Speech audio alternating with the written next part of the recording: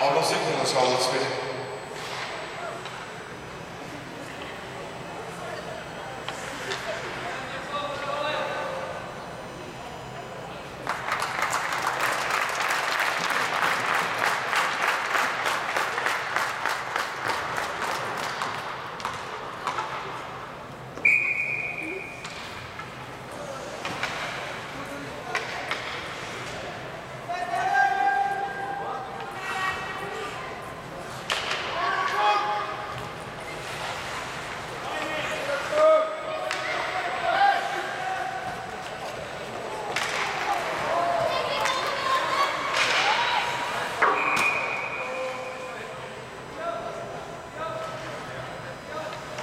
Den skal spille. Knoller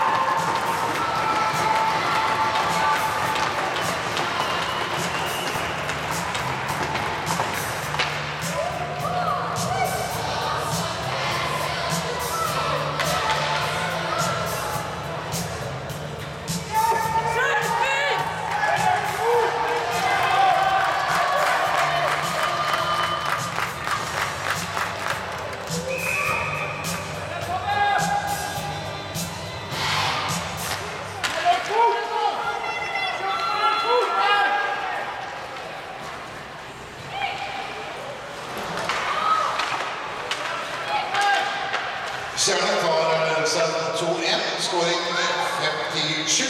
Stian Hansen. Pasning spiller nummer 8. Emil Buskov.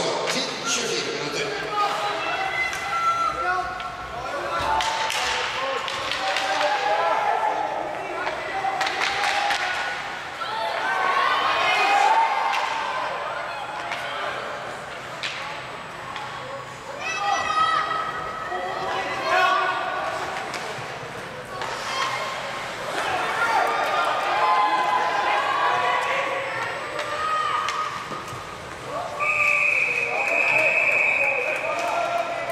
På Stjernens øh, første skåring skal vi ha med en assist.